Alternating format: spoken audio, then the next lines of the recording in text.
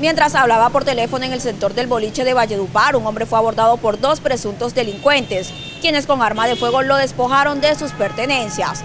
Tras esto, hubo un intercambio de disparos entre ladrones y la víctima.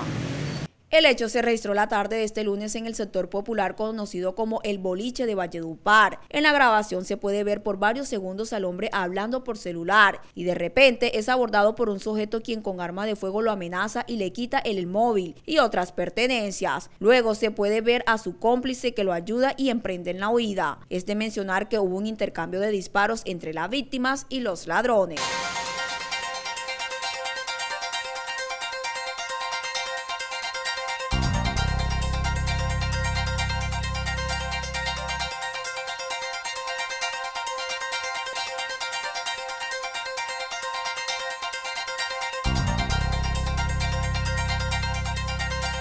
Evita el robo de tu vehículo. En GPS Alarma CJ tenemos lo mejor en seguridad vehicular. GPS para carros, motos y maquinaria de línea amarilla. Con monitoreo satelital 24-7. Alarmas con sensor de proximidad.